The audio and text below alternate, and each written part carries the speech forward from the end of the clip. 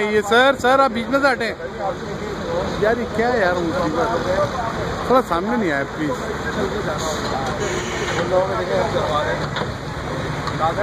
लगा रहे हैं। ना होने के बावजूद।